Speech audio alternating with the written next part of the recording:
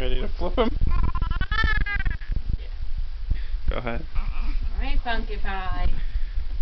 It's tummy time. Let's see you throw a tantrum. Let's see you throw a tantrum. or take a nap.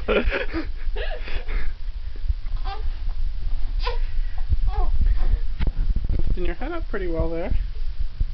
He's gotta it takes some time to get his legs and arms coordinated.